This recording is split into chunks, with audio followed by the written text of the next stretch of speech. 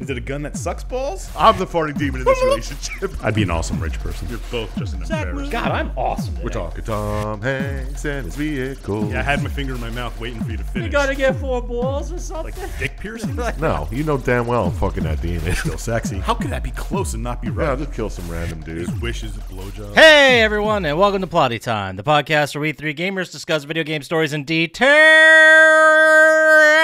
necessary and appropriate backlash. On one side of the table, we have Chump Slap. You don't mix milk chocolate and peanuts on your own. You leave it to the pros and reap the benefits. On the other side of the table, Doctor Syintist. Newsflash, asshole. I've been hearing it the entire goddamn time. My name is Poppascotch, and as I always say, take this quarter, go downtown, and have a rat gnaw that thing off your face. Good day to you, madam. Welcome to Plotty Time. This week, a little bit of a correction crevice, more of a brain clearing cloud crevice, mm-hmm, mm-hmm. If you will. Um, I had mentioned uh, we were talking about Hilary Swank Oh, at some yes. point in the episode. I forget exactly why now. yes, the star of Million Dollar Baby. It wasn't. Yes, that's what we're. Was that what it is? It doesn't matter. But uh, I have no idea. we mentioned uh, a movie, and I said, wasn't Hilary Swank in that movie? Oh, you were talking about the Martian Deep, movie. deep space or deep, uh, Oh, yeah, yeah. whatever that was. The And I was Core. I th- yes, and I said Hilary Swank was in the core, and you're like, yeah, absolutely.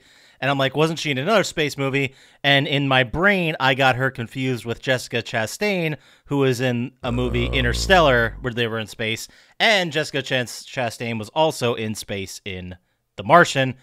Neither was the movie I thought it was, Mission to Mars. that, that was Don Cheadle. Oh, those are so easily confused. Yeah, so a little bit of clearing up there. That's all we got for the correction. Wasn't- so. wasn't Hilary Swank? Hilary Swank was in a space thing called Away, or is that?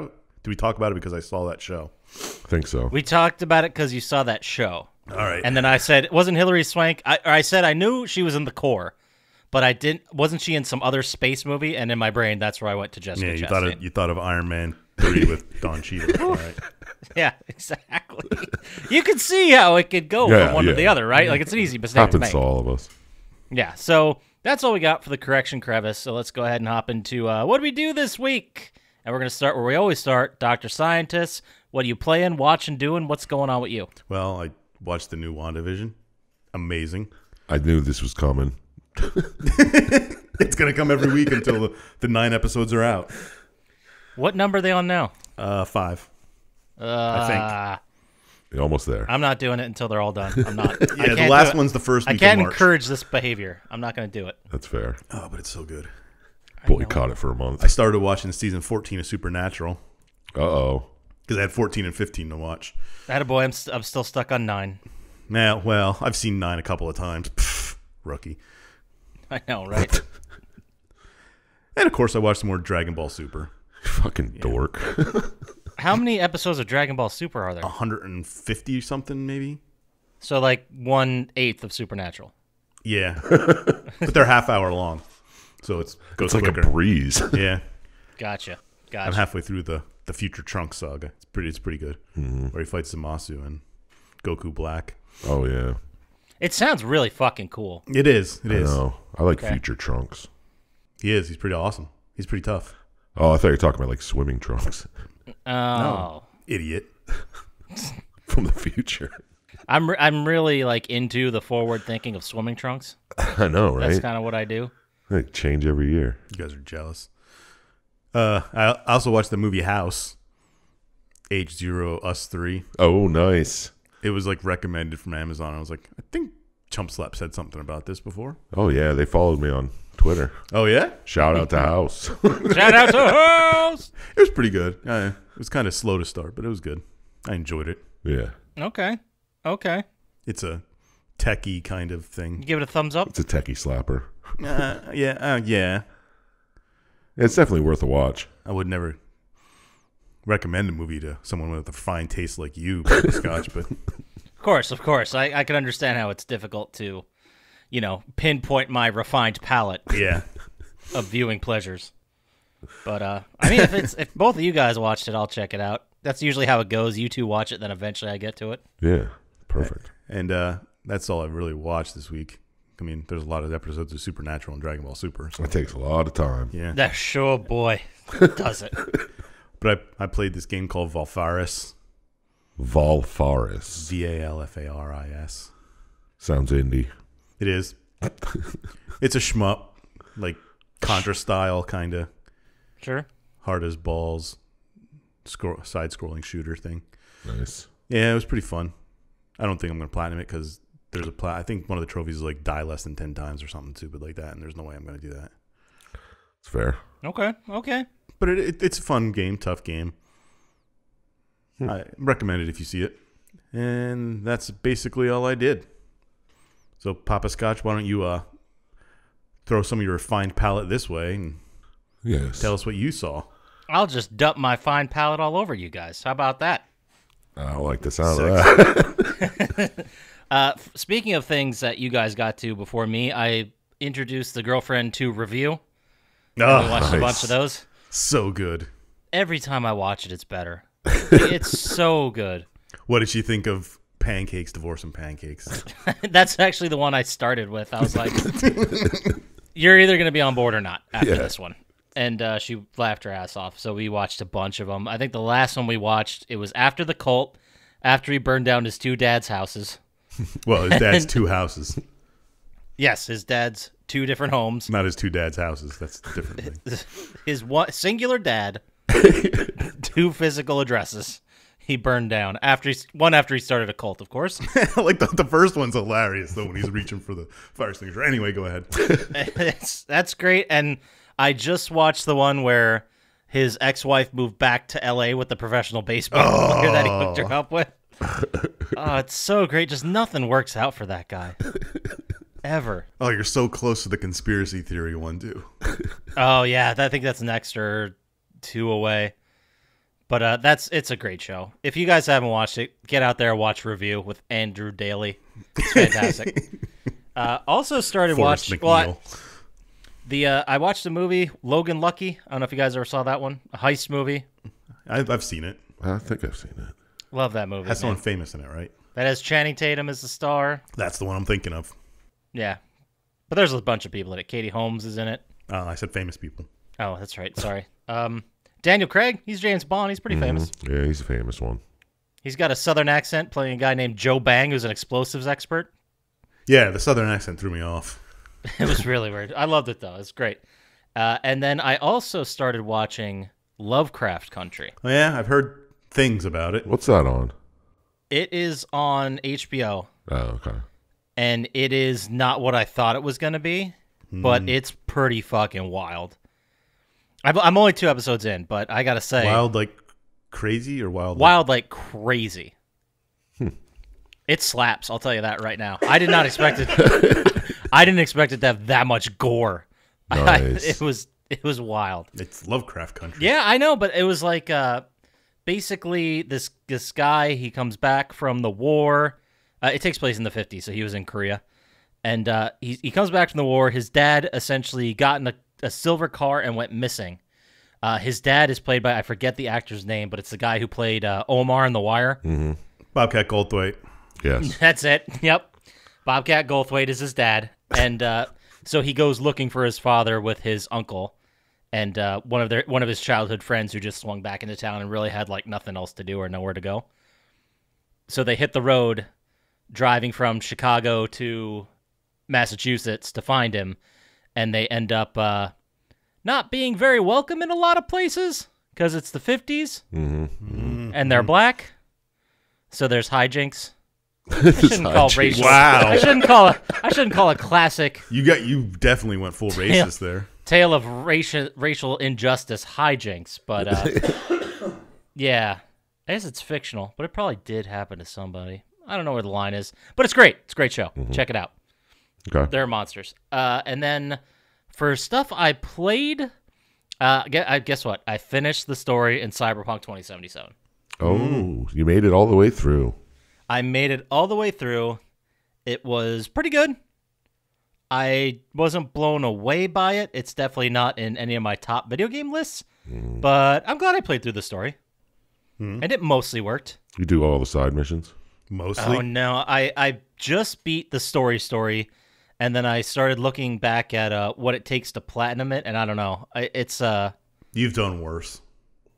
oh yeah, but it's it's I'm talking like another hundred hours of investment to platinum this game. Hot damn. Uh, Do I really want to do that? I mean, if it was ten hours, sure, but a hundred, you have to like go back to old saves and make like very specific story decisions so that you can save certain characters so they can have an effect on the story later. It's one of those. So I basically would have to like load an early save and go from there. Uh, and it's a whole thing, and I haven't really decided if I'm gonna do it or not. probably not. Probably not. I have a. I did get Assassin's Creed Valhalla. It's just sitting there. Yeah, You didn't even play the other Assassin's Creeds. you don't need to. I pl- no, I haven't played one in a while. I played not since Brotherhood. Wow. Yeah, you probably didn't miss much of the story. I played a little bit of which was four was four the sea shanty pirate one. Yeah. Okay, so I played a little bit of that, and I think I own like four Assassin's Creed games in there. I've never played. I know I own three. I know I own. uh Was Syndicate one of them? You know what? I'm just gonna sit here and speculate like an asshole and get stuff wrong. So let's just go ahead. Let's move over to Chump Slap. What have you been playing, watching, doing? What's going on with you, buddy? Well, I played a little bit of Assassin's Creed Valhalla, Okay. and took me 30 minutes to figure out that you have to change the audio output on your PlayStation because the voices weren't coming through. I was getting annoyed. Nice. How? What? What went wrong there? I don't know.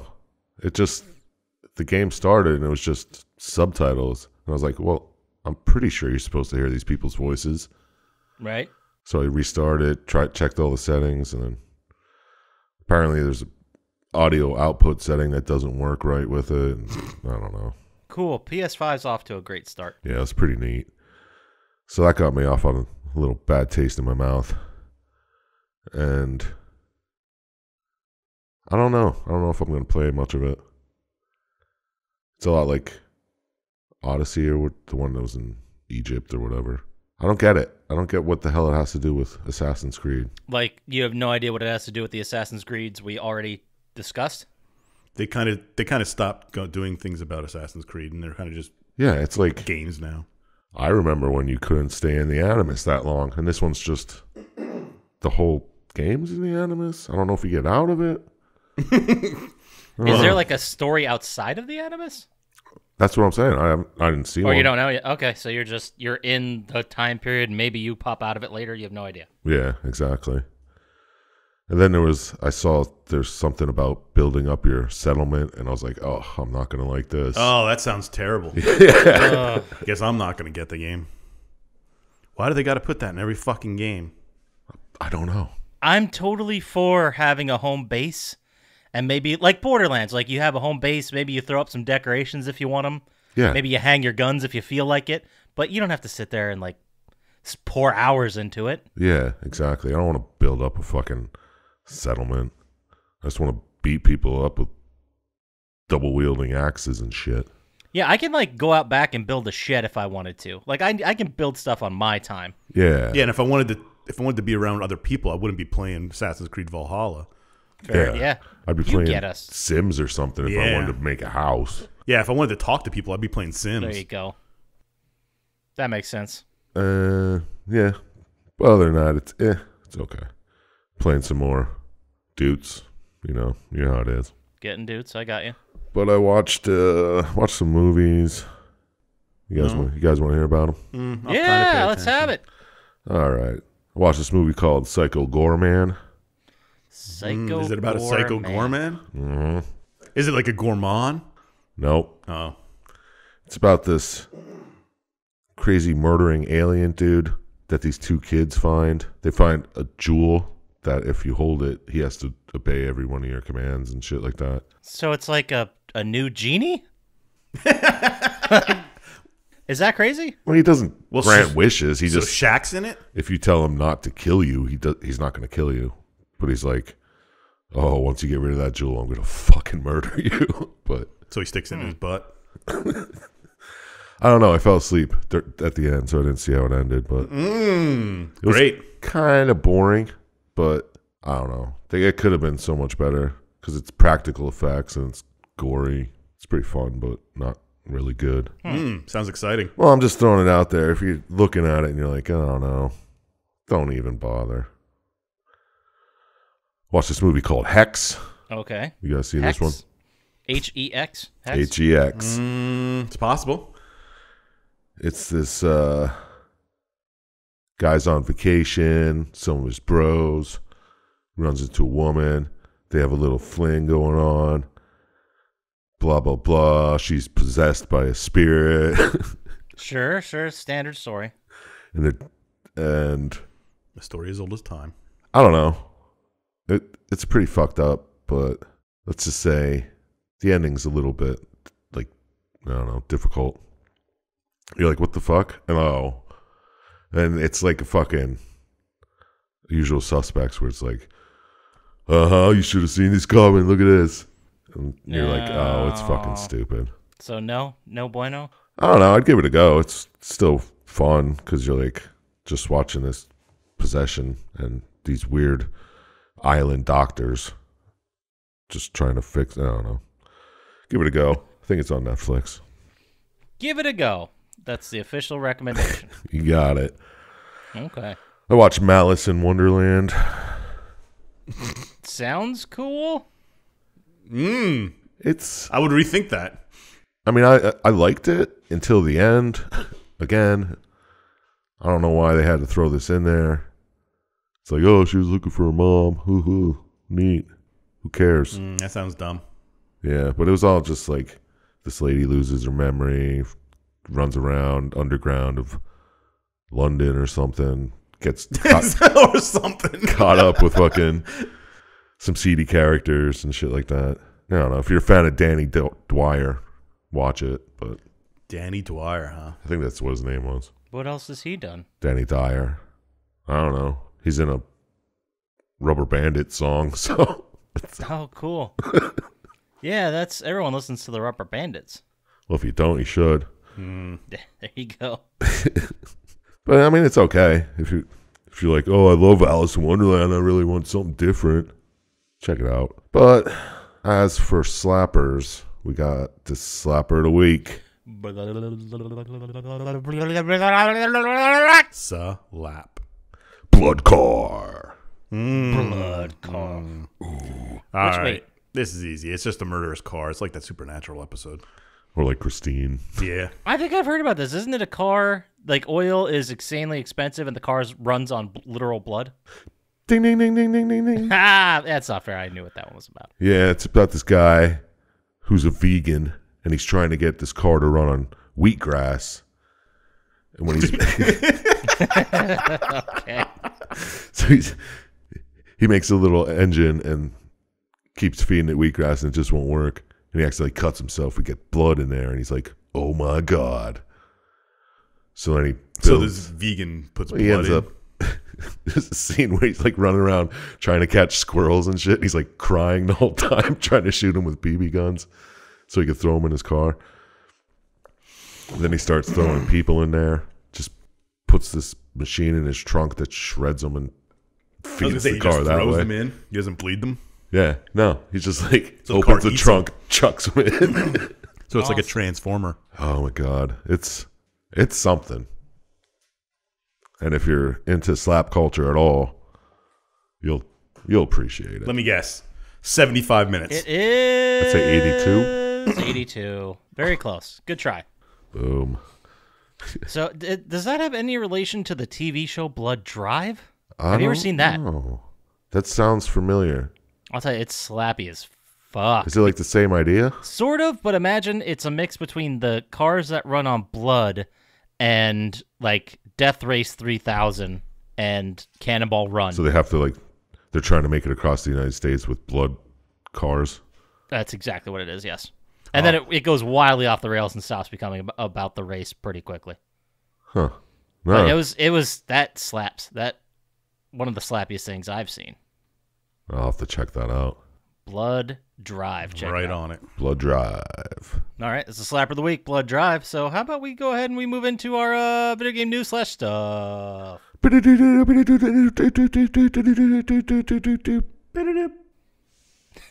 This Okay, this week we've got. Oh, thanks. This we got four pieces of news. Uh, first one is really quick. A big deal in the baseball simulation world. Ooh. Oh, ML, yeah, MLB The Show is leaving PlayStation exclusivity and is coming to Xbox for MLB The Show 21 on 420. is that? What? Blaze it. Do people still still play sports games? Yeah, I play NHL. Remember or Chell? Same Yeah, thing. some people play hmm. Chell, some people say FIFA. I got s- some Madden heads. It was worth mentioning because it's the first time since the the MLB game. There were the MLB games, and then it turned into MLB the Show, and those two combined have been going for 24 years. It's the first time in 25 years that they're going to be on a different console. Wow. I don't care. They just saw a big market open up, man. I guess so. No, PlayStation's probably like, you're not selling. Get off of here.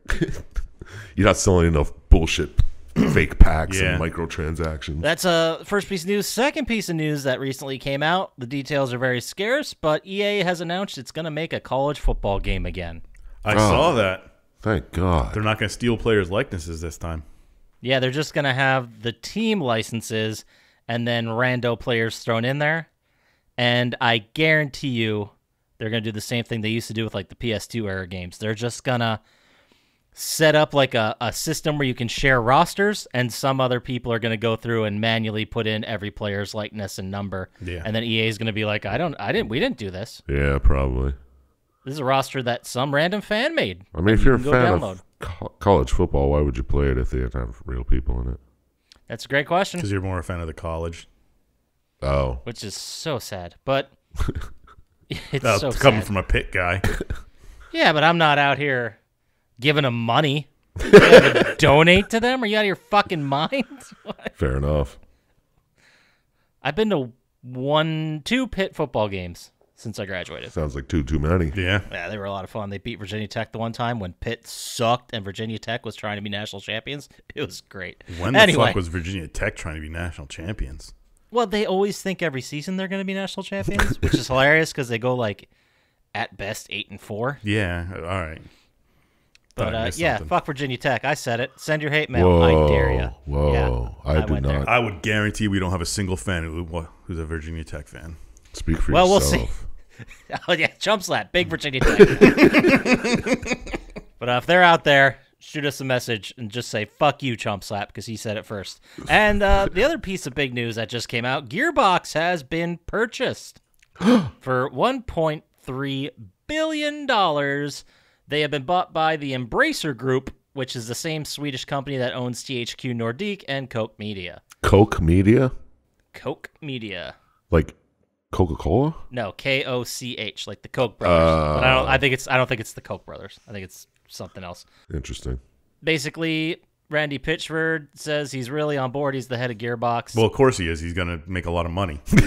yeah, he's gonna make a lot of money. They also. This is the thing. Everyone's freaking out because they make Borderlands, and Borderlands has been very successful. But let's not forget that they also made Aliens, Colonial Marines, and Duke Nukem Forever. They, they've got some stinkers Didn't they make in their stable. No, that was EA. No. No, that's BioWare, right? Which was owned by EA. Which one did Gearbox make that failed? Oh, Oh, um, they just shut it down. Battleborn. They Battleborn. just Yeah, shut down yeah, the servers for that. yeah, okay. they tried. They they made an effort, but now it's completely shut down. But uh, this is what always happens: is the studio says this is great. This is going to mean we have more resources and we have more money and we can make bigger games and better games. And then within, you know, they'll put out like two or three games, and then the studio will just be absorbed and it'll be Yeah, THQ Nordic. yeah, it'll be THQ Nordic West or some bullshit. And then eventually it'll just lose everything that made it Gearbox. So Cool. that's probably in like three years. That just it happens. Yeah. Uh, the other big piece of news: Stadia is shutting down its in-house developers. That is hilarious. Oh my god. They, I don't think they released the game. yeah. They are pla- they say they say that they're planning to release the ones that are near completions. They said like seventy or more percent completed None. because it's just at this point they'd be throwing money away. Pac-Man 2. Pac-Man too, maybe. I don't know what. I don't know You what think they Stadia bought. could run that?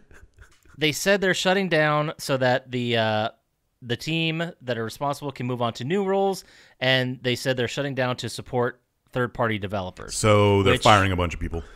They're firing a lot of people. They said they're trying to work them into the rest of Google somewhere, but for the most part, They're shutting down so they can support third party. That's like me saying I'm shutting down my football team because I want the other guys to have a chance. yeah, exactly. It's it's a lot of bullshit. Um, some people believe that this is the end of Stadia. Or Are you not? You're not one of them. I don't think it is. I don't know. Do you think you could how react. stream Pac-Man too? I know we probably couldn't hear. That's not a real game. I think I can. I've tried it. Uh, they said that the 9.99 Stadia Pro subscription service will continue to exist. Of course they will. Take your ten bucks for nothing. That Google in the future may try to secure exclusive or timed exclusive third-party titles, but any near planned games will be released on Stadia, and everything else is just going to go as it normally would. Mm, so may do something means they won't. They Probably not. might have some games that are almost seventy percent. Done. Yeah. Well, all the games that are over seventy percent done will finish, which is none, and then we'll try and find these people jobs which they won't have, and we'll fire them. Allegedly. I feel like we should have thrown an allegedly in there. Yeah. Okay. Yeah, I don't think a Google CEO is listening to us. We don't know that. He searches for Stadia every time. Yeah. What a fucking joke! I can't believe you paid for that. I paid a lot for that, thank you. and continue to every month. Oh, that's great. You could throw me ten dollars, and I'll supply you with Anyway. Stadia games. So, uh, that that's all I got for video game news slash stuff. What a joke! So how, so how about we get to the actual game that we're actually going to talk about this week? And what is that? Let us begin. We are talking about the sequel to one of the best games that has ever existed. Somehow was better than that. Space time horror action adventure vehicle Dead Space 2. Better than that? You think it was better than the first one? Yeah, Fuck that blew yeah, my do. mind. Wow, I don't think it's I don't think the story was better. We'll We're get going to get into it. into it. It was released January 25th, 2011 for Oh my PlayStation 3, God. Xbox 360, PC, developed by Visceral Games and published by EA. It is a third person action adventure survival horror game written by Jeremy Bernstein. This is ten years old, Bernie. I know, right? and it's ten years after 9-11. Whoa. Coincidence? Yes. Probably. yeah. Coincidences happen all the time. Not maybe, or it could be. Yes, it is a coincidence. so uh, I picked it this week. Uh, if you want people out there, you can uh, go back, listen to our original episode. We did Dead Space. Jesus, when was that? Oh, I listened to it. Was that season one? Uh, yeah, yeah, yeah. It so. was. It was like episode twenty something. Oh, what the fuck did we talk about in it? You might have been just getting your Stadia or something. sweet, sweet. I N- didn't oh. regret that. I wanted to write down because I heard it and it made me laugh. I was like, "You definitely still were playing Division Two. Of course. Yeah, well, I mean, come on. Yeah, obviously. that was for the majority of this podcast. Uh, but I, I figured you can go back, you can listen to it. We'll be here. Uh, I will give you guys, listeners, a brief rundown of what happened in Dead Space one Kind of lead us into Dead Space 2. Uh, basically, and I'm, I'm flying through this. There's a lot more nuance and stuff like that, but I'm just trying to get to it as fast as possible. The year is 2508. The USG Ishimura, which is part of a mining operation on a planet called Aegis 7. Uh, there is something goes wrong. They send out a distress signal, and the USG Kellion comes to respond to see what the heck is going on. Like aliens. And wackiness ensues. Yeah, it's actually it is pretty much like aliens, but instead of planet, think a ship. Otherwise, you're the same thing. So, they uh, Isaac is part of a team. Isaac Clarke, he's one of the engineers. Uh, all the tough guys with guns go in. Isaac turns the power back on. All the tough guys die, and Isaac's pretty much left alone, other than a couple co- uh, co-workers. Uh, the whole ship gets overrun with these hostile monsters called necromorphs, which are the reanimated corpses of the crew. hmm Now, the the whole story, the reason this happened is the Ishimura uncovered a man-made red marker on Aegis 7, which I mean, we'll get into the unitologist and that whole cult thing a little bit, but the point of it is is it was made by an ancient alien race that causes that releases energy causing homicidal insanity and the spread of the necromorph infestation on whoever's pretty much near it. Uh, I did do a lot of research into the backstory in all of Dead Space, and I think in three they go back and retcon a bunch of stuff. Probably. I know when we uh, were doing the first podcast, we mentioned that Isaac is 50 years old, and this is like three years after that. He's 50? That yeah, I, we had the same Yeah. reaction. Yeah, that's exactly because I remember reading that and being like, "Oh shit, he's 50. Well, it's in the But- future when they have better aging pills and such. Aging pills. Better ones. better. Perfect. oh Jesus. Anyway, I didn't even get through the fucking recap of the last game yet, guys. So uh they they found the marker. Isaac tried to return the marker to the planet and just get rid of it, but one of his coworkers, Kendra Daniels, betrayed him because she's a unitologist who is the cult that worships the marker and wants to basically bring about something called a convergence event. Uh, she's trying to actually put the you the uh, marker on a ship and get it back to her unitologist bros. But uh, the big twist, the big thing that happens as you're fighting through it, trying to destroy it, doing whatever, is that uh, the entire time Isaac is being helped out by his girlfriend, who's on the Ishimura, who was the one who called for help. She's helping him out, leading him through areas, hooking him up, and it turns out that she was dead the entire time. These were all hallucinations brought about by the marker. He sends it back on the planet, destroys it, fucks off into space, and the last moment we get is of crazy zombie Nicole attacking him on the escape pod, and that's it. Fade to black. Cut to black. Mm-hmm. Yeah.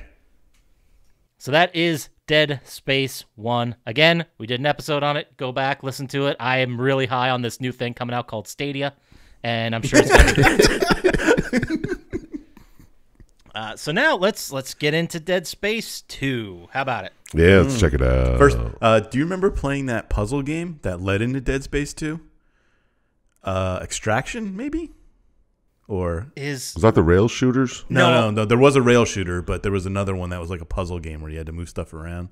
Yes, it was kind of like hacking or Yeah, stopping the yeah. virus somehow, and it was like mini games. Yeah, you play the guy who's the first guy you see, mm.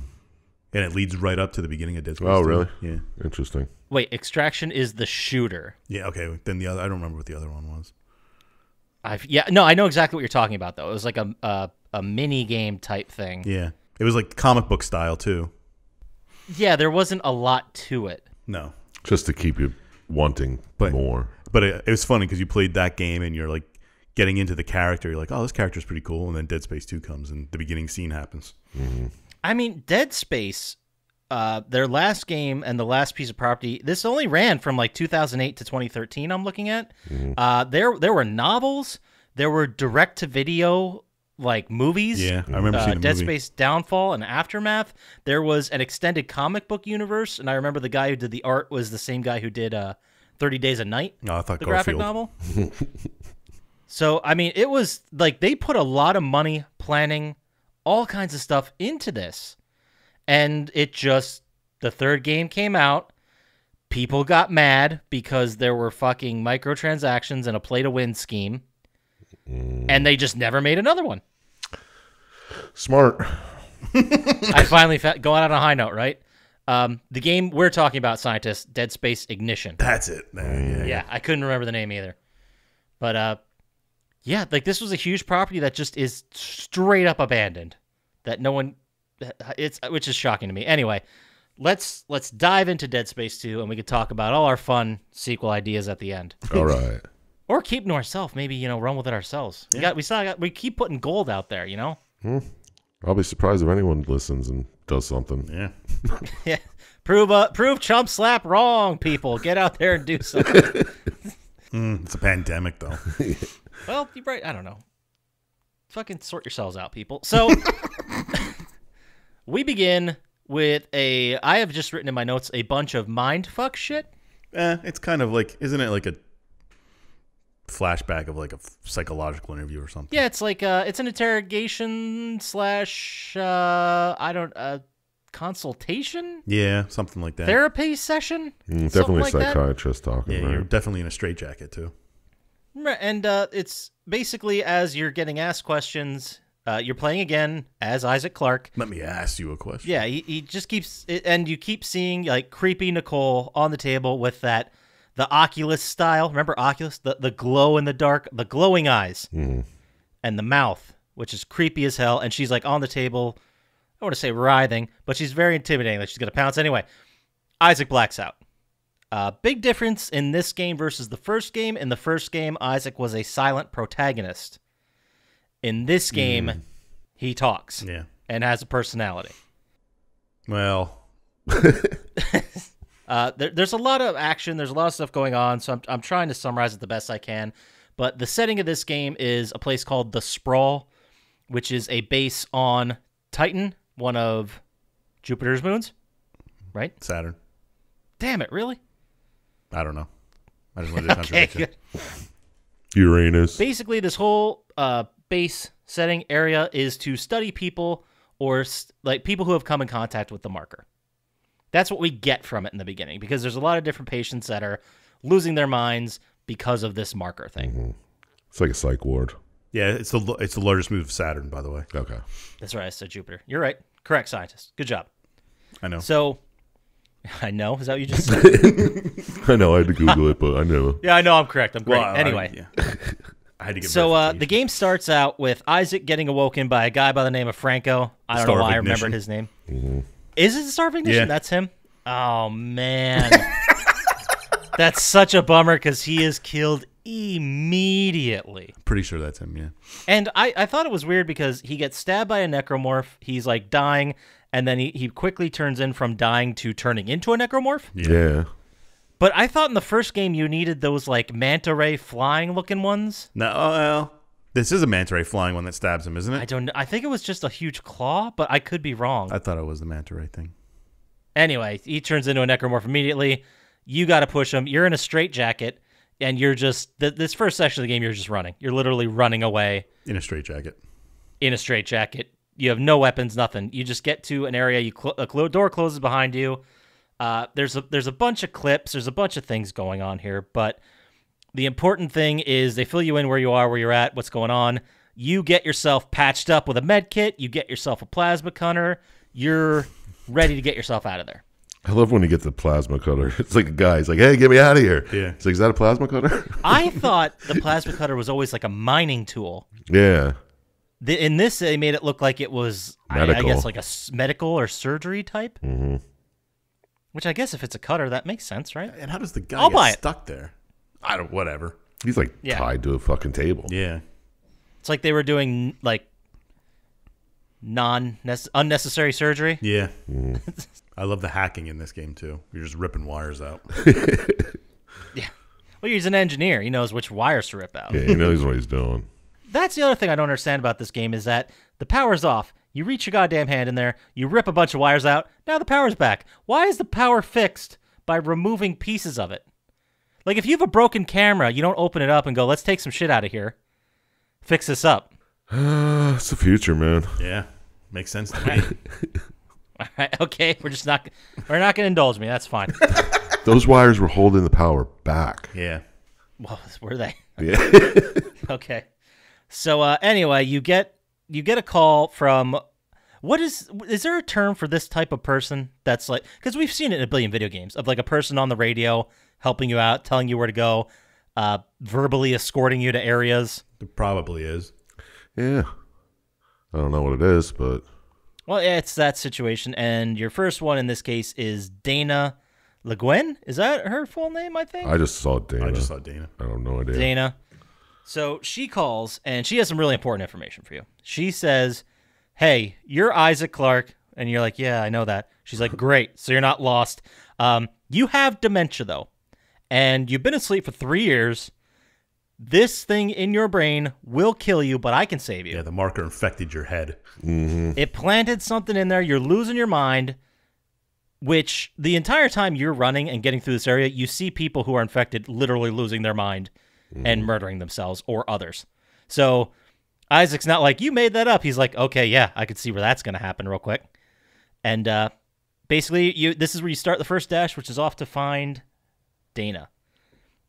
Uh, on the way, uh, you, you know, you're you're going through, you're fighting, you're getting through areas. Eventually, you get some armor back, your spacesuit, and uh, you meet a guy by the name of Nolan Stross, who recognizes you, and he's another patient that's in the same ward He as you. stable. Yeah, he's like, hey, I'm patient five. Remember me, dude? I don't know if he was on the Ishimura or if he was in another place where a marker came, but he's definitely losing his mind in a similar situation to you. Yeah.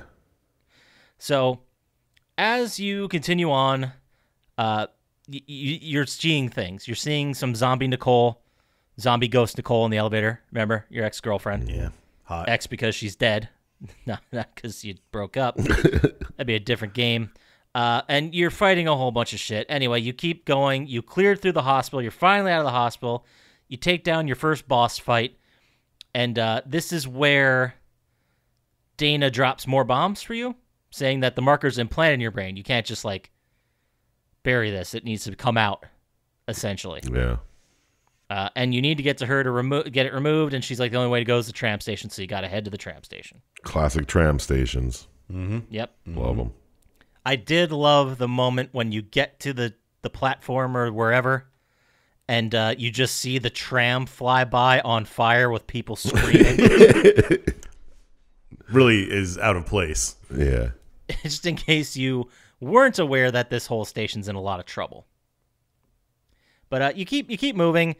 Uh, Nolan, like he he sees you from afar. He kind of helps you out. We're kind of building a little bit of trust here, I guess.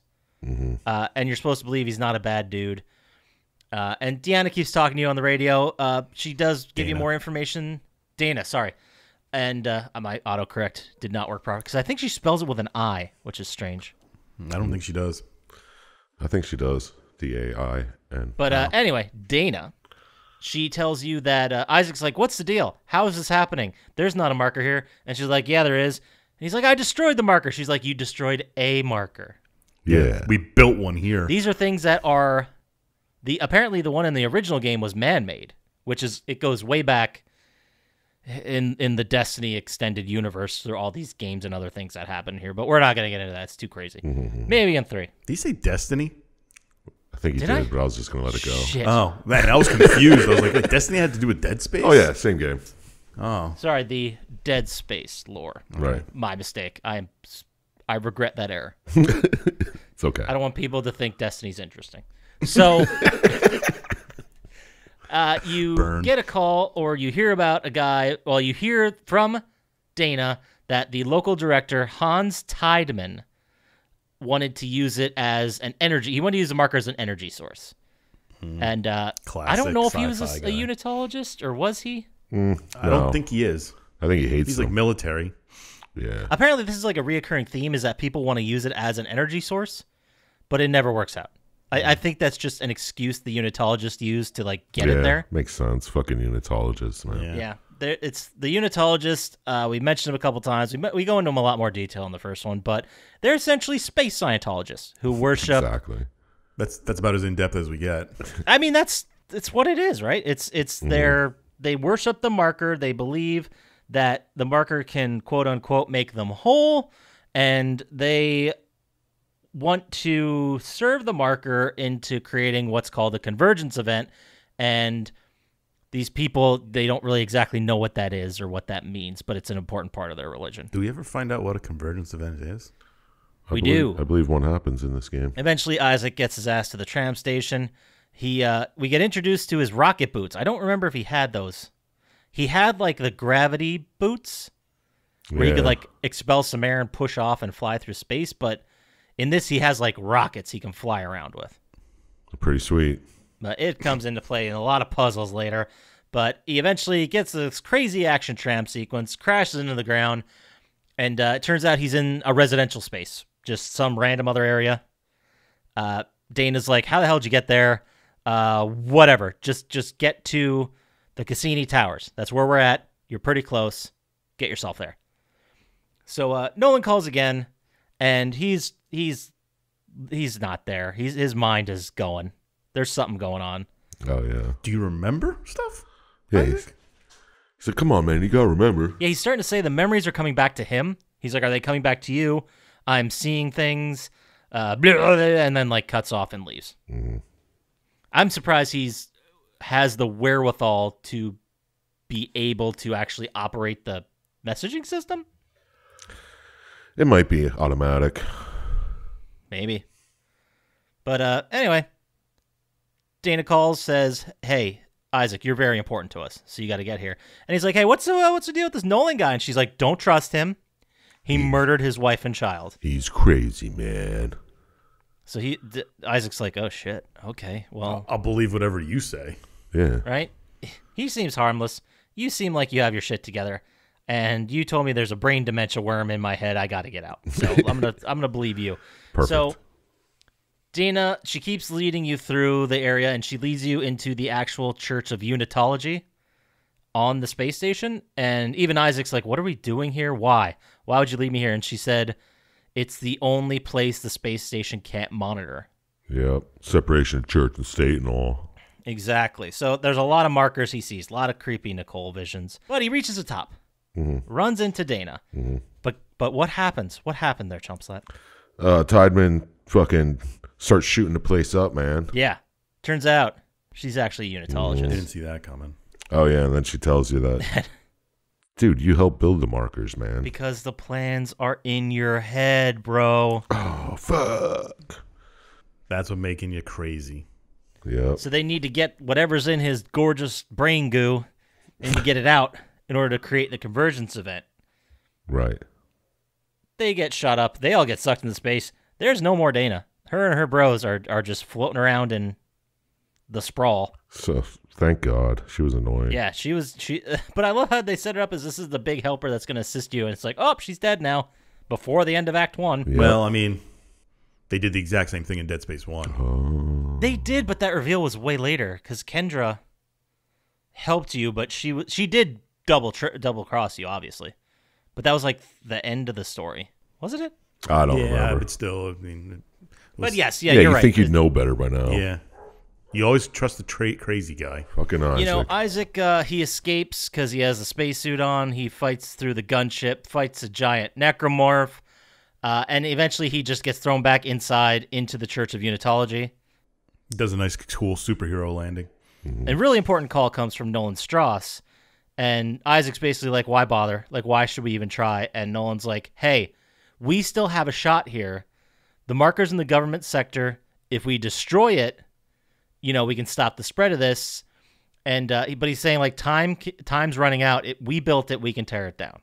That's the important thing he gets out. So now you're like, okay, we need Strassi here to help me because he knows things. I know things. Together we know a lot of things.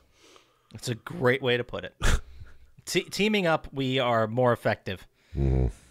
So uh, Isaac continues on, and he runs into our next character, Ellie, who is behind a gate, and she is a basically a government ex-military or possibly current military pilot. I wasn't clear on. I don't know what she was doing. Yeah. And whatever Well, it she is, can she fly. says, don't follow me. Yeah, she's like, don't follow me here. Open the door. Go. Yeah, she's like, sorry, I just had to kill a bunch of my friends, and I saw a bunch of people killing other people, and I don't trust you, so I don't know. Good luck out there, buddy. Don't follow me. Interesting way to hide a loading screen. Exactly. But uh, this is where I was talking about the moment. I, they didn't show much of it in the video, but there's a whole sequence where Isaac goes through the school and the nursery. That was an awesome part of the It game. It was an awesome part of the game. Right? They had the creepy kid necromorphs, and there was a great moment where Isaac sees through a, a piece, like a you know, a big window, piece of glass, Window Stop Heroes. but uh, know he that. sees a woman playing with one of those little ball necromorphs with the the tentacles that come out. Yeah. And she's like, "Oh, it's so good. Come here, buddy. Oh, come over here. Oh, I love you." And then the next thing we see is just an explosion and blood covers the entire glass piece in front of you. Nice. So that was pretty gnarly. Uh, you see a bunch of zombie face Nicole in this area too. Uh, she's not very helpful. She's just there to scare you, pretty much. hmm But uh, this is where finally Isaac turns a corner and he says, "You're not real. Like, get away from me. You're not real. Like, I know this thing messes with my brain, and you're not there. Fuck off." Yeah, I mean, that's what happened in the first one. You kept seeing her. So, I mean, how does this not. Yeah. I mean, come on. He's like, this shit again? keeps moving on and he gets to a main area, the transport hub, finding Ellie and Nolan, who she found Nolan running around, so they're kind of just together. Yeah. She's like, I don't want you to fucking join up with me, but I'll join up with this fucking crazy dude. Who's clearly insane. Doesn't Isaac like talk her into like, can you watch him for me? I don't know. She's like Yeah. standing there with him, like. Is yeah, this- there's a this moment where she's like, I found this other guy who says he knows you. yeah. Oh yeah, okay. And Isaac's like, ugh, yeah, can you just keep him alive? He might know how to stop this. And uh, basically, while we're in this area, Tideman calls from the other area, the other government section, saying, uh, yeah, that area has uh, losses, and you're not getting in here, and the Necromorphs aren't getting in here. So good luck. And he shuts down the power, leaving you and whomever else is in that area to die. Nice. That's the way to go. Yeah, man, you gotta save yourself, move. bro. Yeah. Uh, now we start a whole. There's a whole lot of sequences of action and doing stuff to get to this government sector, but I'm just gonna blow through most of this. I just want to say you have to fix an elevator. Yeah, you also have to turn on a generator. Mm-hmm. There's so much restoring power and turning on things and moving the solar panels. There, basically, you do some engineer shit, right? Yeah. And you restore the power. And I, I have even in my notes to summarize this next sequence. Uh, really quick is a lot happens, but it really doesn't. Because of the story or anything, yeah. like yeah, a lot of gameplay, a lot of puzzle solving, a lot of shooting, which is great when you're playing it. But for the story, basically the point is you need to get to the uh, the government area, the government sector, The government area. Yeah. The government town. you the big things you do is you realign the solar array, so you can get solar power and turn on the power. And it's a great sequence outside. That was a lot of fun. And you you do that. You turn on the power. You get on like a, a an on rail transport, kind of like a monorail Mm-hmm. type thing, and you're going over to the government sector, and this is where on the way there, Tideman's like, "Hey, can't have this," so he snaps the track with the beam from the solar array. Yep. You're, uh, and then uh, Ellie and Nolan are stay there. They're pretty much screwed, and you have to go out and, and fix it. But uh, this is also the moment where, as they're going on the track, they see the Ishimura outside. Oh my god. the sprawl. So the ship wasn't destroyed. It wasn't blown up. They brought it back. And then Ellie tells you there was a terrorist attack on the Ishimura. It wasn't terrorists. I love how Isaac's like, no, it's not. She's like, how do you know? Like, this is what everybody says. It's like, I was fucking there. Pretty great stuff. So basically, he gets them to, uh, he gets their thing to basically crash land into the government sector, as the best way to put it. And he shoots himself over in a transport and gets over there. So now they're they're in the government sector. Actually, they, I believe this is the sequence where they're in that area, but they have to go through the Ishimura. Well, he has to go through the Ishimura to fix the rails so they can Gotcha. then I- crash I was- into it. Yeah. I was a little confused about the setting of this. I know it was a lot more clear when you played it. Yeah, you have to like use the gravity gun on the Ishimura to fix the rails so they can go over or And something. Tideman calls. He's like, "You're using the gravity gun. You're gonna tear this place apart."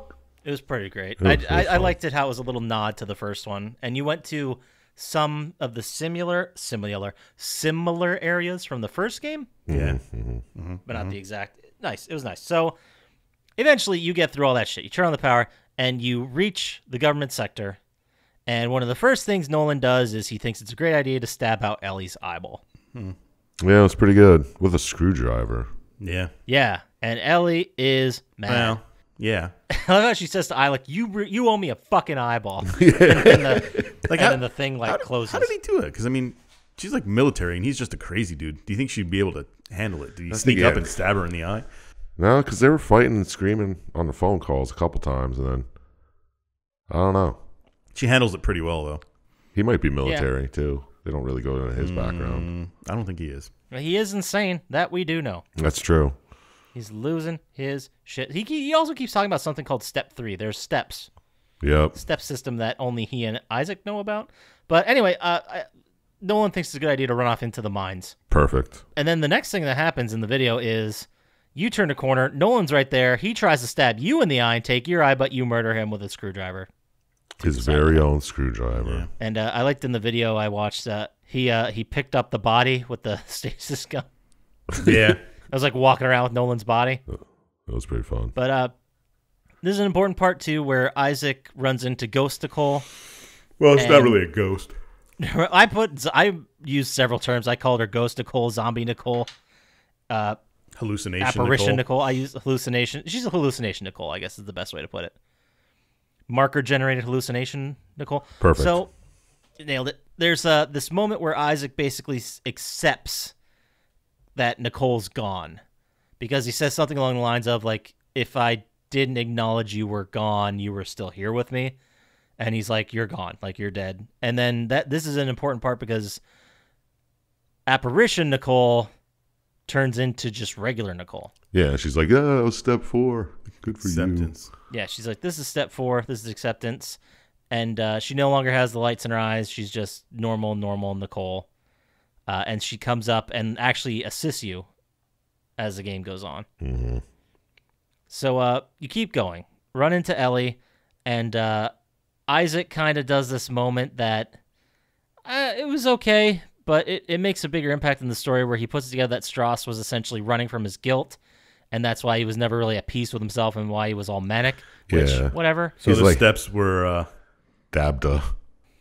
well, yeah, if you want to say it that way. But eventually, he basically says Isaac's not running from his guilt anymore because we did find, and uh, it kind of turned the story on its on its side because the first thing we see in this game is a call between Isaac and Nicole.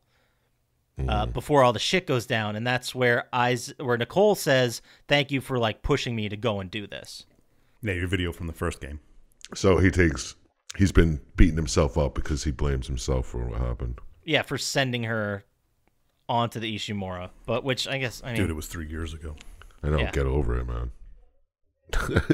and then there's some there's some wacky mini drill. Not it's not a mini drill. It's like a a huge. fucking- Yeah, it's a huge drill. Jeez. It's like three stories tall. I remember this fight being annoying too. I remember like playing this then the first time not having any ammo and I just had to basically stomp things, Nice. Yeah, because you get to ride on top of it and fight. You have to kill necromorphs. shit, yeah. which is a lot of fun to play. Really is. But uh, eventually you just ride that bitch right into the Earth Gov base. Boom, right in the government sector. And uh, this is a very interesting part because Ellie says, "I found a gunship. We can get the fuck out of here." Yeah. And- no, you can get out of here. Exactly. Because what does he does? doc- What does he do, Doctor Syintist? What does who do? Isaac. Oh, well, he tricks her to go on a ship and then sends her off without him. That's exactly right. Saying something along the lines of, "I couldn't rescue Nicole. I couldn't rescue these people, but I can rescue you." And then sends she fucks off into space. Just not both your eyes. Yeah. And she's like, I ain't leaving until I get another fucking eye, dude. No. And then next, there was a, a really cool sequence where Isaac sends her off and he just fucking sits down because this game has been a nonstop white knuckle thrill ride. Mm-hmm. Sure was. so he sits down, and then this is where Nicole shows up. Mm-hmm. And and she's like, "Look, Isaac, just touch me. Just touch. Take my hand. Make us whole." And he's like, "No, I'm not ready to do that yet." So then he gets up and continues on. Oh man, it's so fucking brave of him. Because what does he have to do? He's got to stop the Marker. the marker, dude.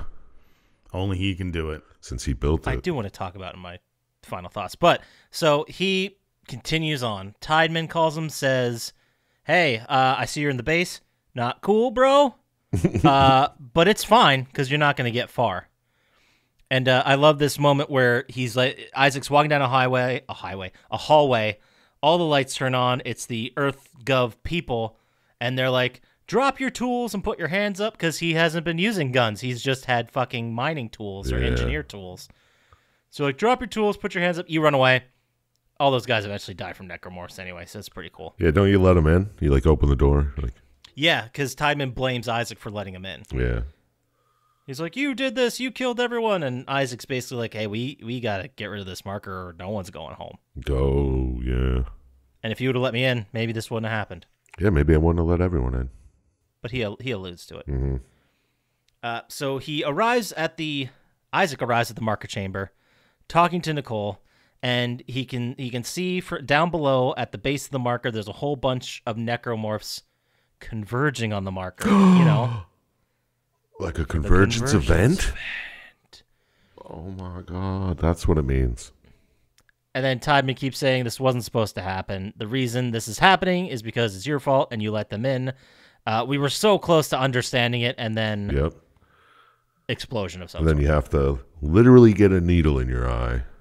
I remember this playing it the first time. It's not a fun part of the game. No, it's first of all, it's an insta kill moment. So if you miss, you're going into Yeah, like it's that's game over. First time I had no idea what I was doing. Like, where, what are you supposed to do here? Oh, you have to like line up your eye. yeah. Oh, I was wondering why. I thought it was a cutscene, and I didn't do anything, and Yeah. it killed me. and I was like, "What the fuck am I supposed to do?" And uh, I do remember if you were going for the platinum trophy, you had to beat it on the most the most difficult, the hardest Which difficulty. is like in- permadeath. it's it's not permadeath. Well, it is permadeath, but you're allowed to only save the game three times. Oh, So it's the hardest difficulty, only three saves. And I remember one of the save spots being right here because it was an insta kill spot. and I, I I do remember too the first time I played it, like I'm like, what is happening? Because it was like you said, it's just like a cutscene leads right into it, and you're like you're just looking at Isaac's face with a little laser. And you're like, what am I supposed to do? And I start moving the controller and I see the needle move and put the laser over my eye. I'm like, no. no, no, no, no, no. and then they so the game makes you jam a needle into your own iris. but uh, anyway, you I don't remember why you were doing this. Wasn't it to get the the information about the marker I don't know. out? Nicole tells you you have to do it. She's like, "This is the only way to do it." It it activates the brain codes. Yeah. So there you go. Perfect. That's what they, they say. The machine activates the brain codes, and that's why I have to do it. Which And you got to put a needle in your eye to Yeah. do it. what the fuck? Uh, they're in your brain. You got to get in there and get them out. I'd rather stick it through the side of my face. Right. Oh, that's right. Didn't they say that uh, the marker implanted it on your brain with the instructions of how to build it? Yeah, Yeah. they had to activate it. Yeah. There you go. Uh, anyway, you you work your way down to the actual chamber where the marker is, and then Tiedemann pops out, barely alive, tries to attack you, and you you put a long uh, harpoon, I guess, directly through his face. Pretty good. It was pretty anticlimactic for time. I know you get hit like twice. I thought it was gonna be a wild boss fight, and then the boss fight comes after this. Yes. But this is the end game section. You're in some I don't know how to put this. The the marker world, some kind of nether realm? You get absorbed by the marker, so I assume you're in the marker. I just assumed it Yeah. was some kind of mental thing. but whatever. It doesn't really It could be a matter. mental thing, and uh, Ghost Nicole is there again, trying to make you whole. Says something about how destroying the marker isn't possible, and you, you have a whole bunch of enemies, and it's foggy. It looks like a dust storm, and you kill a bunch of things, and then you unleash what is symbolically, I guess, the heart of the monster. It looks like a beating heart, Yeah. and then you kill it and stop the convergence event. Oh, I do have my notes here. I think this was all in your head, but uh. yeah, because then you just come to outside of it. Like, Yeah, and the marker starts crumbling. You did it. Uh, the place is starting to fall apart. And uh, credits. I love how this moment the credits start to So roll. before you do the credits, what happens at the convergence event? like what is what is supposed to convergence event? happen? Like you say, all the guys converge there, but what does it do? it absorbs all their life. To what end? We'll never know because they didn't finish. I don't think we find out in this game. I think it brings you to heaven if you listen to unitologists. I think you're making shit up. Anyway, go ahead. Uh, I'm trying to find out what it is now because now I want to know. Well, if it's not until the next game, then we don't know. You But you know- told you promised me that you would tell me what the convergence event was. yeah, everything. Everybody converges, I'll figure it out while you guys are doing your. and uh, Nicole your says, Only tell us if it's not in part three. Nicole's like, well, the creator of the marker has to be absorbed into the marker, and that Yeah, will but it help with the. Explain the end game. That helps with the convergence event. What do you What do you need to know? Convergence is a process triggered by a marker when a large enough amount of organic matter became infected with the necromorph pathogen. Mm-hmm. The marker would pull all the infected tissue into the stratosphere, where a brethren, brethren moon formed and absorbed the marker that created it, along with the organic tissue of the creators of the marker. So it, So what happens in it three? creates a planet out of flesh? the flesh. chunks of nearby planets and asteroids are caught and collected in its gravitational pull as the moon grows larger and larger. It's what happens in three. okay. Yeah, once the moon is complete, The creators of the marker must be killed and absorbed into the sentient moon, possibly in order to give it the sentience needed to guide its feeding on organic life throughout the galaxy. Oh, so it just becomes a moon. It becomes a different life form. Becomes like a, a Death Star for life. So like a marker is an egg. Yeah, pretty much. That's a good way to look at it because it bla- in in three. I think in three they go into this more. It might have been one of the movies, but the markers like they're everywhere. They're like they were blasted out into the galaxy Okay. as like seeds. hmm So it's kind of like uh, Prometheus. Yeah. I don't know how. I don't even I just- Yeah. They both did take place in space. You are there you go. But uh, so the credits roll, hmm and I love this moment where the credits are rolling. You think the game's over. You're like, "That's it. What a ride!" But no, Ellie reaches out over the comms. Uh, this crazy pilot is coming in there to get you. I like the way you put that. And this is where I found out his name was Tiedemann because I couldn't hear it right. I the couldn't whole hear it time. either. I thought it was Hindman. I have it written like 16 different So ways. I, I was going to mention that before because it's at least that many times in mine too. But uh, just to finish this up real quick, you get on your rocket boots, you get up to the ship, you get on board, you fuck off into space. The marker blows up. Uh, you both narrowly escape, and then there's a little moment where Isaac looks to the passenger seat, just like he did at the end of Dead Space One, Mhm. and instead of Zombie Nicole, it's just Ellie, and she's like, "What?" It's like, what the fuck you looking at, dude? And uh, Titan Station is completely destroyed. Then there was like an after credits sequence. Well, Oh, I didn't see that. just audio over the credits. Yeah, something. Uh, basically, the the important thing you gotta learn is the other sites are gonna have to pick up the slack. Oh, yeah, this was marker site 12. okay. That's it. That's the game. Whew, I did a lot of talking. So how about we move into our final thoughts? Let's do that. Okay, so we're gonna start with the man of science, the scientist man, Doctor Syintist. I like Scientist, man. It's a good name. Scientist man, I've got three questions for you, and I gotta say, I, I workshopped this a little Is bit. any and I- about buffalo chicken dip? oh, fucking buff dip! I'm making some. Anyway, No, I got I'd some die. questions Let's for you. For some right now. Do you want to play it now? Did the story work for thou? What score would you allow? I don't like that at all. How long are we sitting on that? came up with it in the shitter today. That's terrible. hey, I'm, I'm working on it. All right, we're, we're, oh tr- we're trying new Oh God, I wish you were here so I could smack you. Is it the thou? Was that too much? Yeah. yeah, well, I mean, the first rhyming was bad. Oh wow. What score would I allow? I mean, I felt like starting with "Do you want to play it now?" was a good start, and then it just kind of fell apart. yeah, it fell apart right after the first five words. Uh, do I want to play it? I, I kind of always want to play a Dead Space game, but I don't want to pay for it. So if it's free, hmm it's for me. But yeah, I'd probably Nice. play it. Did the story work for me? I don't know. It's kind of boring. It's almost shot for shot remake of the first game, being tricked and go to the crazy guy and you got to destroy a marker. Nothing exciting happens really, hmm except this time there's a hind The marker or tied doesn't- him getting Marker doesn't get that close to convergence event in the first one. That doesn't make it better.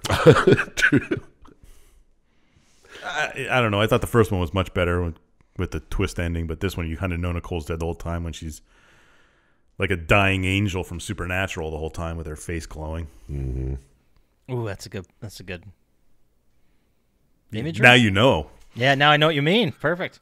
All right. But I mean, I, I don't know. It's the story was kind of boring. Basically, a remake of the first game. Eh, I got got to lose points for that. I'll give it. Uh, let's say a ten. He allows a ten. Yeah, I allow a ten. That's the score you'll allow, huh? Yeah, That's I don't know. It's if it was by itself, maybe, but It's lacking. It, it's it follows the first one, so Yeah. it's not it's not as. I mean, it's a fun game, but the story's kind of blah. fair. Okay. Tough okay. but well, fair. well, uh, how about you, Sir Chump Slap? I'll say the questions again because they're fun. uh, do you want to play it now? Did the story work for thou? what score would you allow? I hate it even more now. Yeah, I know. I really want to punch him. I can't see you right now, Doctor Syintist, but I just see you so mad. He's seething. It's disgust more than anything. Well, do I want to play it now? Kinda. I mean, it's fun. I'd never played this one, so it's the same. Run around shooting fucking necromorphs. Got to shoot their limbs off. You know how it is. And it's a bunch of jump scares and cool looking environments and enemies. So, yeah, I'd play it. Yeah, boy. Did the story work for thou? Um, I I thought the story was lacking hardcore in this one. I mean, you just wake up and you're like, oh, another marker.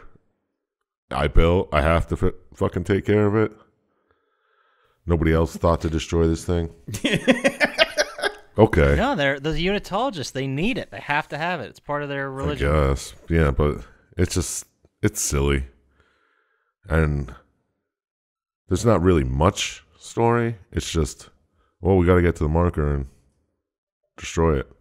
Okay, go here, go here, go here. Yeah, at the marker. Boom.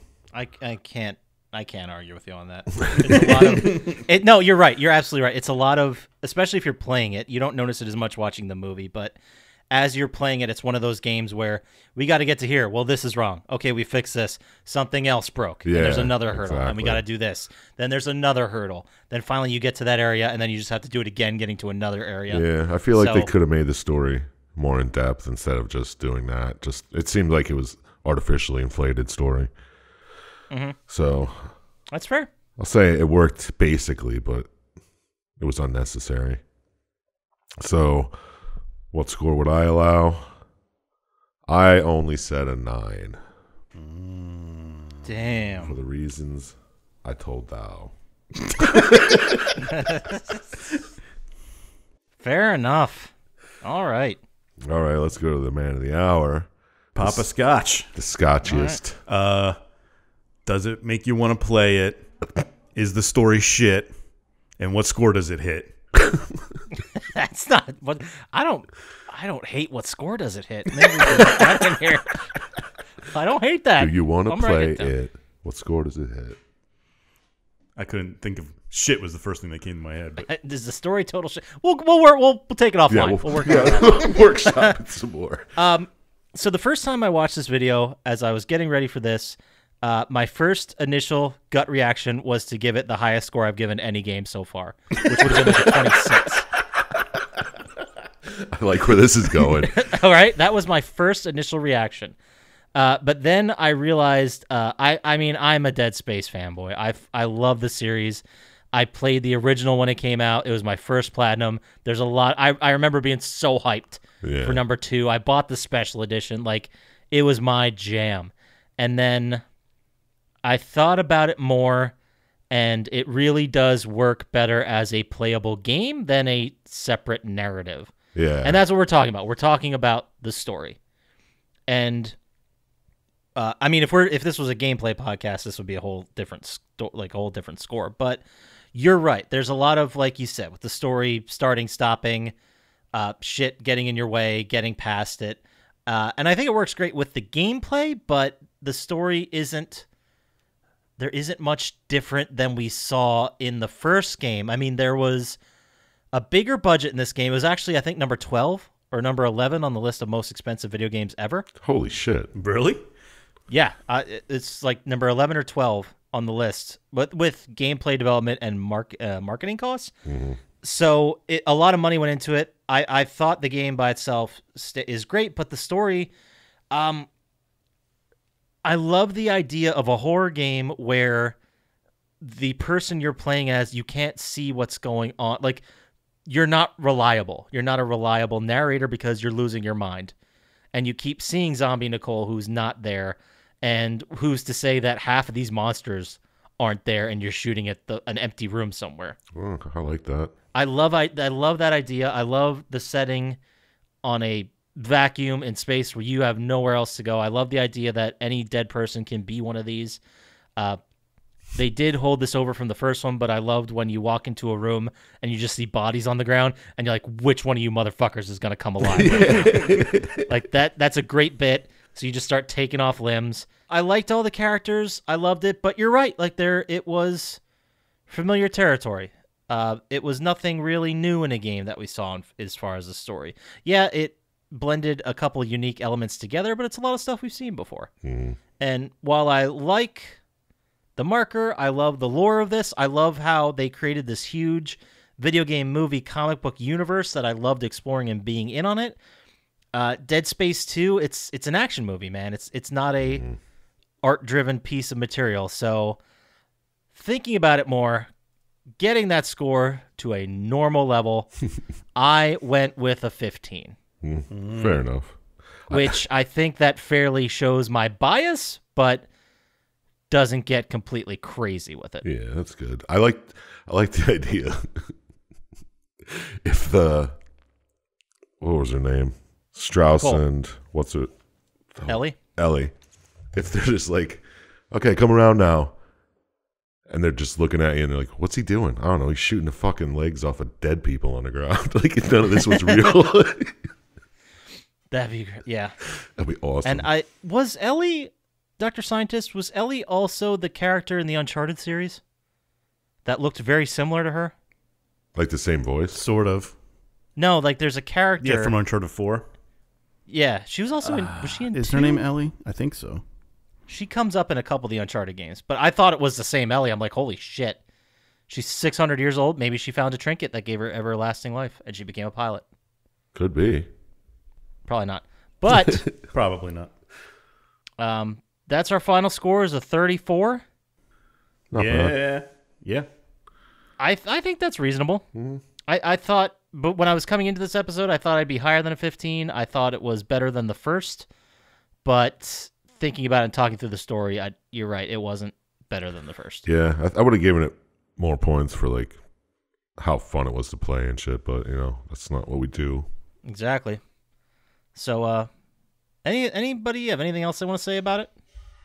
No, but it made me want really look forward to that new game that's coming out. Oh, uh, god damn it! I don't have the name of it in front of me. Got no idea myself. oh, that is the the Callisto Protocol, Yeah, made me stoked for that. uh, created by Glenn Schofield, who created Dead Space. Oh man, 2022. Uh, do you even think we're gonna be around that long? I, I hope not. I probably won't make it, guys. All right.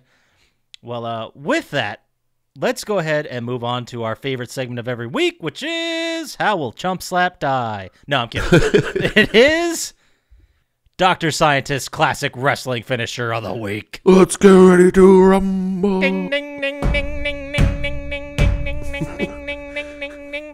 He's out. Every week, we ask Dr. Syintist for a classic wrestling finisher, and he never disappoints us.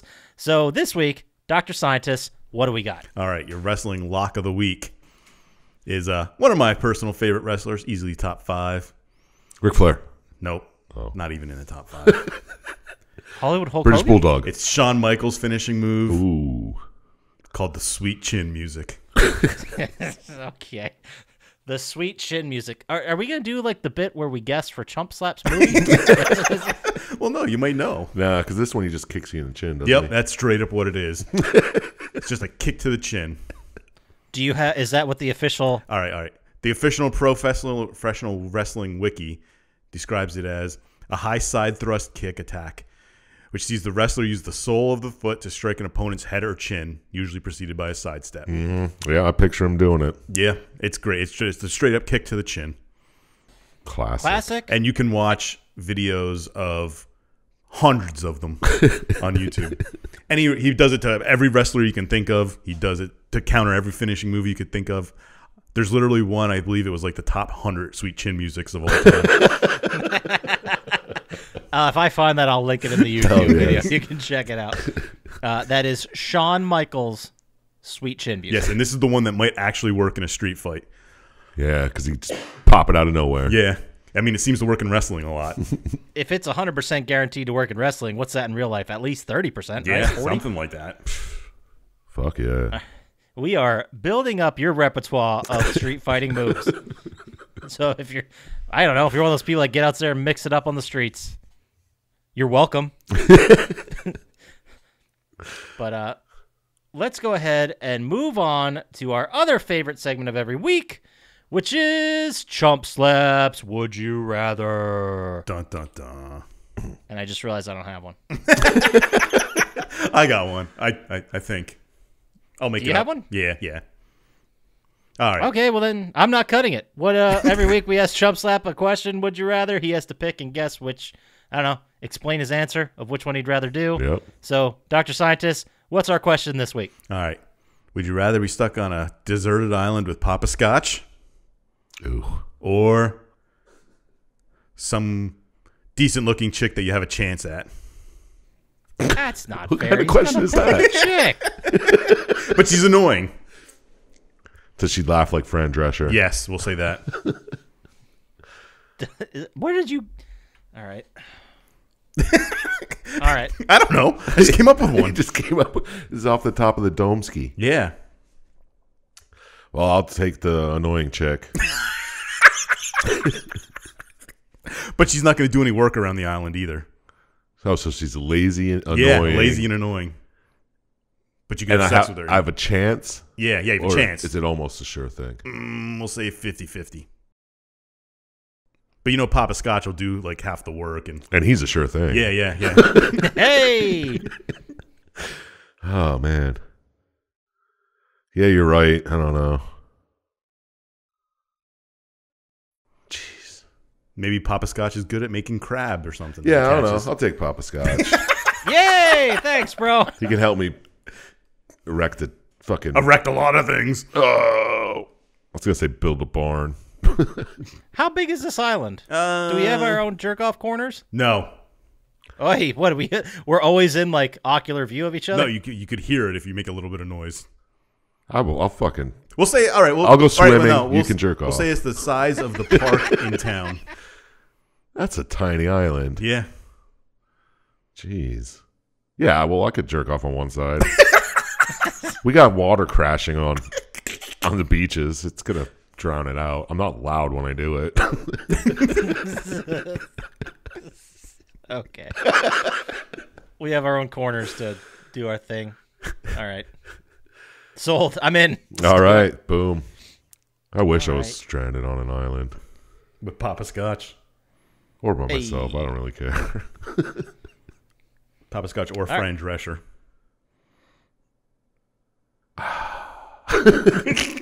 She's probably got some cool stories. Mm, Maybe not. Probably be annoying. Well, I mean, did you ever have something that really annoyed you, then eventually you just got used to it, and that just became how life was? Yeah. I look Think at about it. myself in the mirror every day and I'm fucking annoyed. Is Poppascotch in this scenario a robot of some sort or an android, or is it like No, it's literally you. me? I'm getting stuck going there with him. yeah. All right, You're yeah. stranded on the island with him. Well, that's obvious because I would be like, I ain't doing this alone. You got to have stories too. I got a couple. You, these were both flying to Japan and crashed, and you're the only two Oh, we survivors. didn't even make it to Japan. No. Can we at least say it was on the return Yeah, flight so we let's saw all that weird Japan shit we could talk about? Yeah. You think that's going to save it? Maybe that could be the end of it. That could be it. All right, that we're done with this. All right, All right. next time we'll definitely come more prepared with the Would that one wasn't that bad. No, I mean we did we pontificated quite a bit about it, Yeah. And I guess that's what you want. But Chump Slap chose companionship and jerk off corners to a slightly annoying woman that he has a chance with. Um, let's say a lot of people out there disagreed with that choice and really doesn't care for Poppascotch. Where can they send that email to, Sir Chump Slap? Send it to plottytime at gmail.com and I'll, I'll gladly respond to you about why I don't like Poppascotch. And let's say if someone out there, maybe it's Fran Drescher herself or just someone with a voice like Fran Drescher, would like to get to us on the socials and see if we have, uh, I don't know, if they could sway us in the other direction, where would they get to us on the socials, Dr. Syintist? At Plotty Time on Instagram and Twitter and Words with Friends. Perfect. Uh, if you want to watch a brand new logo on the screen, sort of, while you watch us on? YouTube, we got a moving picture now. It's just the one with the Plotty Time logo, but something's moving. Get over to YouTube, like and subscribe there. It really helps us out. So that does it for us. Uh, get out there, play some games. Don't trust Dr. Syintist, and we'll talk to you later. Peace. See ya.